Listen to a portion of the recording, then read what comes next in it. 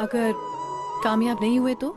नाकामयाब तो मैं नौकरी में भी हो सकता हूँ। कामयाबी कागजों में नहीं होती, माथे के पसीने में होती है।